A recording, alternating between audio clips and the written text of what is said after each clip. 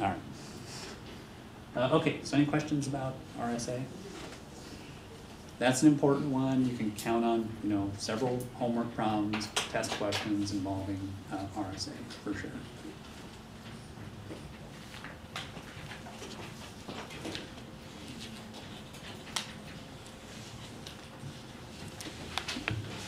Okay, next up, uh, Diffie-Hellman. Okay, Diffie-Hellman, of course, was invented by Malcolm Williamson.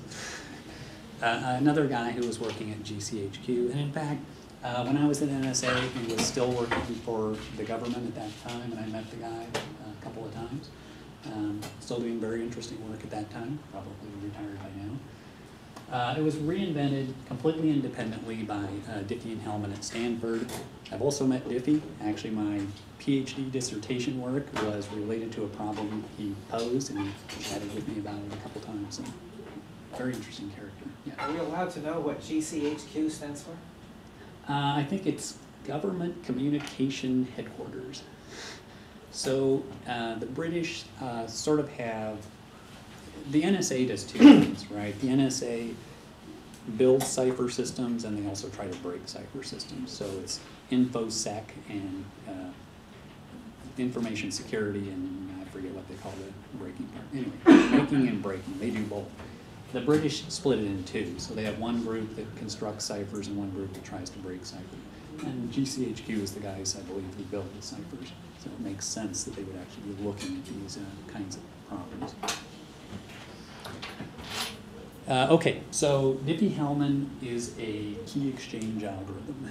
Okay, in this class, when we say Diffie-Hellman, you should say Diffie-Hellman key exchange all together. Okay, let's try. Diffie-Hellman key exchange. Okay, good. Uh, it's not for encryption, it's not for decryption, it's not for signing. It's only for establishing a shared symmetric key. And it uses sort of public key kinds of techniques, and that's why we consider it a public key system. Uh, okay, now every public key system has to be based on some hard mathematical problem. For the knapsack, it was the knapsack problem. For RSA, it was what hard problem? Factor. Okay, so for Diffie-Hellman, it's going to be the so-called discrete log problem. What does that mean? Well, okay, it means you're given a g, uh, a number g, a number p, and you're also given g to the k mod p. So you're given three numbers. Okay, one of them you know is g, one of them you know is p, one of them is g to some power mod p. And the problem is to figure out what is that exponent there. Now, forget the mod p for a minute. Suppose p is not there and mod p is not there. I give you g and I give you some number and I say it's g to the k for some k. How do you find k?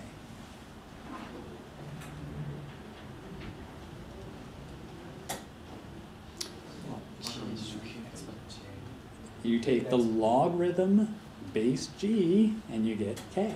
Okay, you can punch that in your calculator. Log base g and you will get k. That's the logarithm problem. That's an easy problem. You punch it in your calculator, you get the number. This is a hard problem. You just throw that mod in there, and as far as anybody knows, it's a very hard problem to solve. Uh, the number p is a prime, and that's public. Okay, we're going to make that public. The number g is also going to be public. g has to have satisfy this certain property. We call it generator. It's easy to find such things. Okay, so g and p are public. They're just, they're just given to us. Okay, everybody gets to see those guys. Now here's the way the system works. Alice selects a secret exponent A, Bob selects a secret exponent B. Alice computes g to the A mod P, sends it to Bob. Bob computes g to the B mod P, sends it to Alice. Okay, now what does Alice know? Alice knows g to the B mod P because she got it from Bob, and she knows A. So she can raise that to the A power and get g to the AB mod P. Bob knows g to the A because he got that from Alice. He knows B because he made that up himself. He can compute g to the AB mod P. They both now know g to the AB mod P. They can use that as a shared symmetric key. Okay? That's the idea. Now, why would you want to do this? Why don't you just share a symmetric key? Can be different every time. Well, it can be different. That's good. Okay, it's giving you sort of a random key. That's always good. They don't have to agree on it in advance. Yeah, they don't have to hire John Walker or somebody like that to distribute their keys. They can just use this public system and they can get a, an agreed upon key. Now, if Trudy can't get it, great, we're in business here. Okay? Um, okay, now what does Trudy get to know here? She doesn't know A because Alice, that's secret to Alice. She doesn't know B because that's secret to Bob. What does she know? She knows G, she knows P. Those are public parameters. What else does she get to see? Well, G to the A, because Bob, Alice computed that and sent it to Bob, so Trudy could, you know, snoop that off the wire. And G to the B mod P, so she gets G to the A, G to the B mod P, and she knows G and she knows P. Can she get G to the A, B mod P? That's what she wants, right? Because that's the key. Well, okay, it's kind of tempting here. She knows G to the A mod B and G to the B mod B. Take the product of those two guys and you get, oh, you're so close, G to the A plus B, but not G to the A, B. Okay, so it doesn't quite work. But Trudy does get to see this and she gets to see this. Can she find A from this? Can she find B from this? Yeah, it's easy. It's just that discrete log problem, right? Well, okay, so if the numbers are big enough, she can't do that. It's computationally impossible, infeasible to do that, okay? So if, assuming she cannot solve either of these problems, she looks like she's out of luck here. Okay, although she knows a lot, she can't quite get there, all right? Okay, so here's the picture. Uh, the public parameters again are G and P. Alice chooses her secret exponent A, Bob chooses his secret exponent B. Alice computes G to the A mod P, sends that to Bob. Bob, G to the B mod P, sends it to Alice. What is their secret? What is their shared secret here? G to the AB mod P. They can both compute G to the AB mod P, but Trudy apparently cannot. They can use, then they can use this as their shared symmetric key. Looks good, right? It looks like a free lunch. I thought there was no free lunch in security. Well, unfortunately, there's a problem here. The problem is this. Suppose Trudy's sitting here in the middle as they're doing this uh, thing. Okay, they say, okay, let's establish a key, and Trudy sneaks into the middle here. Okay, now Alice, just following the protocol here, she sends G to the A mod P.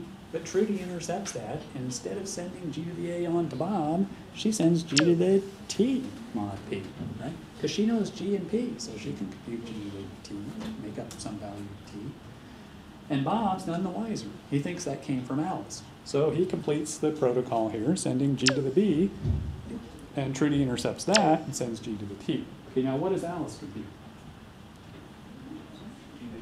She computes G to the AT. What does Bob compute? He gets G to the BT. What does Trudy compute? Both. She knows both. So Alice, you know, uses this as her key and encrypts a message, sends it. Trudy intercepts it, reads it, changes it, does whatever she wants, encrypts it with this key, sends it to Bob. Bob decrypts, doesn't even know that that happened, sends back, back and forth. Trudy's in the middle. She can read everything goes back and forth. Okay. This is a problem.